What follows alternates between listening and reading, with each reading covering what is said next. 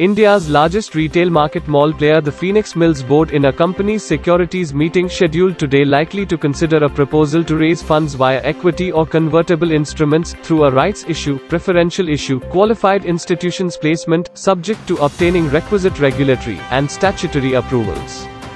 Soon after the announcement published on Friday after the market hour, they closed 2.14% higher at 598 rupees and 80 paise. The Phoenix Mills has a portfolio of 8 retail mall assets across major cities in the country.